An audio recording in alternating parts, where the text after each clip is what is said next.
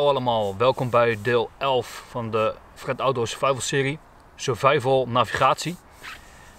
Nou, indien jouw uh, plek, je locatie waar je bent, levensbedreigend is of wordt, en dan kan niet langer voldoen aan je prio's, dan dien je te verplaatsen.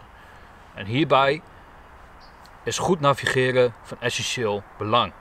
Nou, ook een optie kan zijn dat is dat je op eigen krachten terugkeert naar de bewoonde wereld. Dat je op zoek gaat naar tekenen uh, waar mensen zijn geweest of waar mensen leven. Nou, dit zijn natuurlijk allemaal situatieafhankelijke keuzes.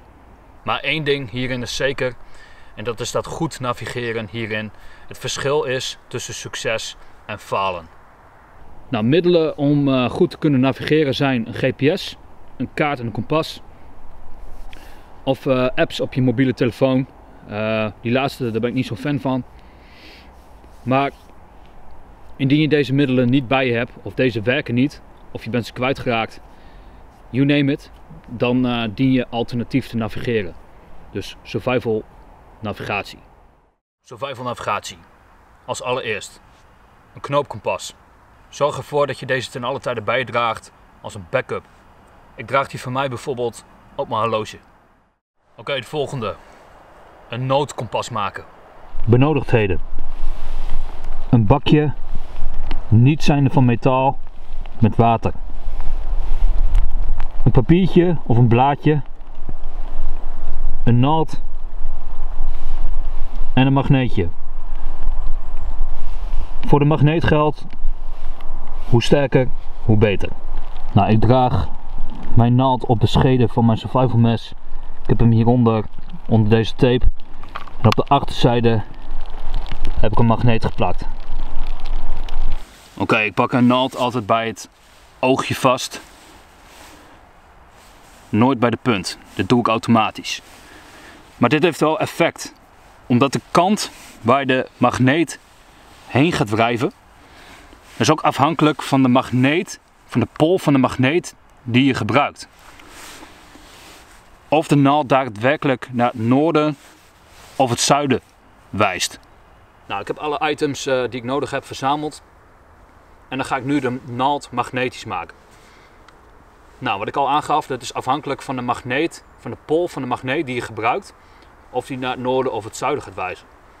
Nou, deze magneet die ik achter op mijn survival mes heb geplakt, die heb ik thuis al getest.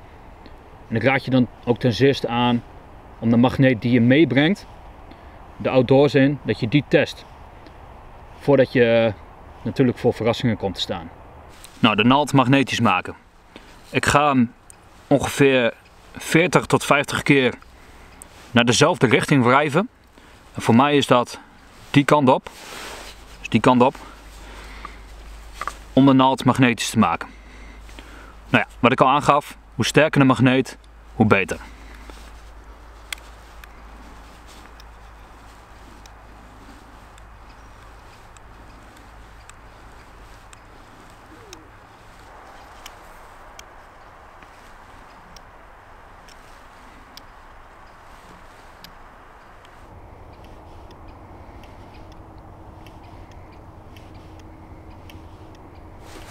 Oké, zorg ervoor dat er geen metalen dingen in de buurt zijn wat het kompas kan verstoren.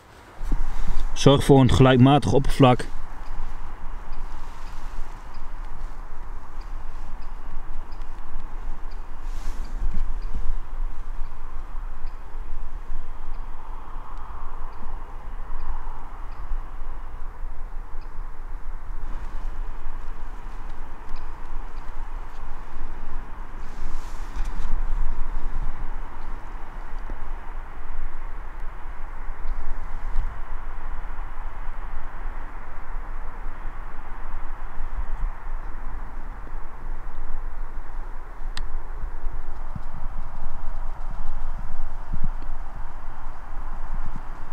Nou, zoals jullie zien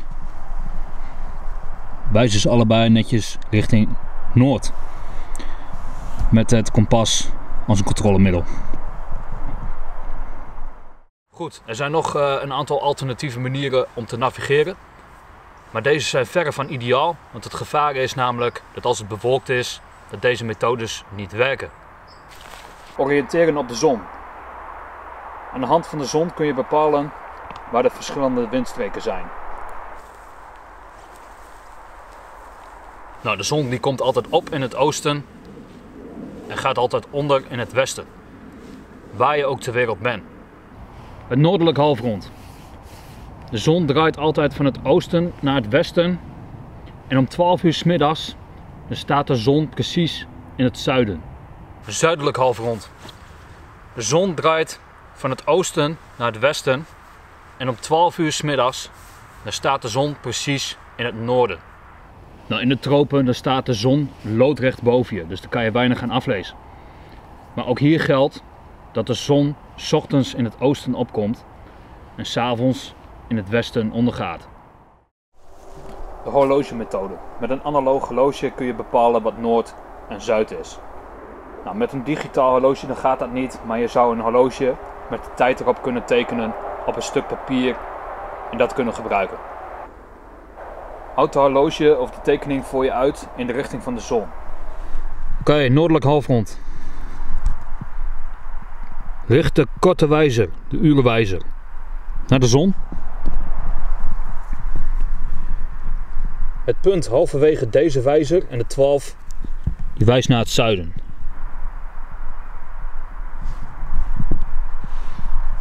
Dus dat zou betekenen dat die andere kant richting het noorden wijst.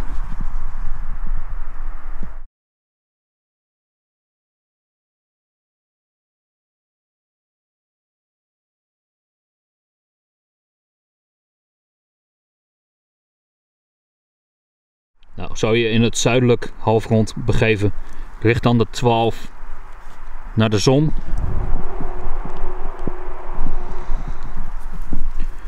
En de ruimte tussen de kleine wijzer, de urenwijzer en de 12 in, die zou dan richting het noorden wijzen.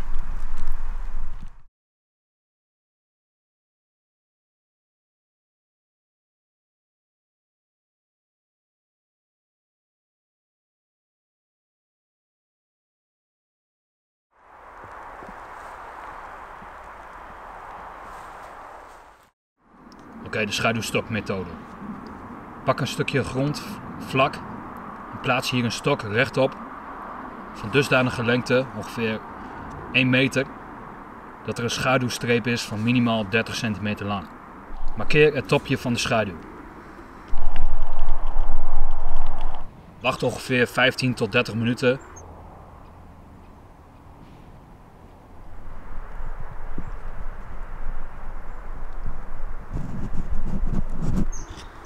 en markeer opnieuw het einde van de schaduw. Trek een lijn tussen beide markeringen. Dit is de west-oostlijn. De eerste marker, dat is de westelijke. De tweede, de oostelijke. Nou, de noord-zuidlijn die staat dus haaks op deze lijn.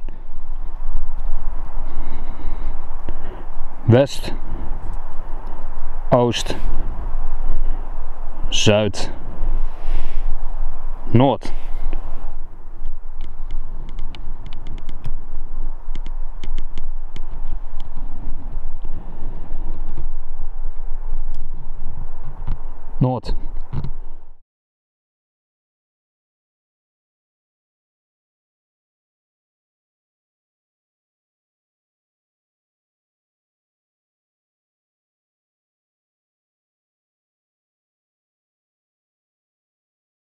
Nou, deze schaduwstokmethode kun je overal ter wereld toepassen. Maar ook hier geldt weer, hoe dichter bij de evenaar, des te onnauwkeuriger het wordt. Oké, oriënteren op de sterren. Ik heb voor het uh, plaatje heb ik een uh, tekening gemaakt, een plaat waarop ik dingen kan uh, laten zien. Hij is wel beschadigd, want het papier wat ik heb gebruikt is een soort van karton en dat kan absoluut niet tegen deze weerselementen en uh, het vervoeren in een rugzak heb ik al door. Maar gelukkig staan de dingen uh, nog op die ik wou uitleggen. Oké, oriënteren op de sterren geldende voor het noordelijk halfrond. Hier heb je de grote beer, also known as het stilpannetje. Hier de Big W, de grote W also known as Cassiopeia. En dan heb je hier de polster. Allereerst, het beeld, het sterrenbeeld kan draaien. De aarde draait, dus het kan zo staan. Zo.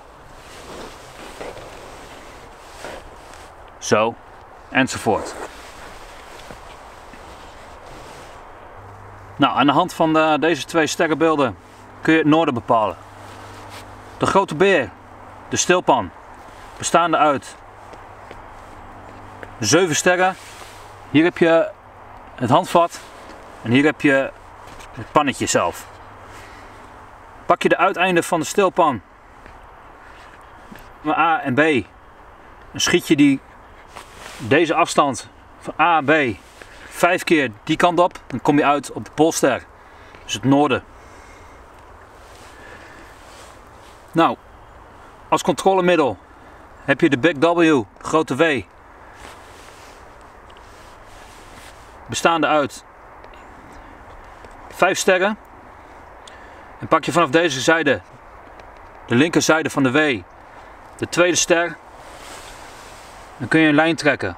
En dan kom je uit de stil van de stilpan. Doe je dat hetzelfde, trek je hier een lijn daar een lijn. Precies daar waar de lijnen zich kruisen bevindt zich de Poolster, dus het noorden. Oriënteren op de sterren.